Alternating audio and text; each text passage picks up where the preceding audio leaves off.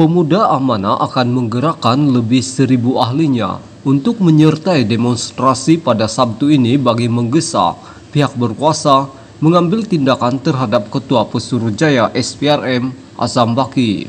Mereka juga akan menyediakan sekitar 10 hingga 20 peguam pada hari demonstrasi sebagai pemerhati.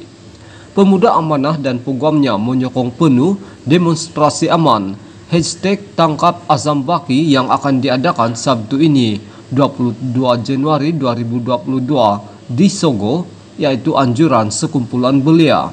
Kami bukan saja menyatakan komitmen untuk menggerakkan seramai mungkin anggota pemuda amanah ke Sogo tetapi kami juga akan komited untuk menyediakan sekurang-kurangnya 10 peguam pada hari tersebut. Peguam-peguam ini akan menjadi pemerhati dan untuk memastikan tiada sebarang tindakan yang melanggar undang-undang, serta demonstrasi aman ini dapat dijalankan dengan teratur, aman, dan mengikuti SOP yang ditetapkan. Peguam Pemuda Amanah Fadhil Umar Aminul Huda pada sidang media di Ibu Pejabat Amanah di Kuala Lumpur hari ini.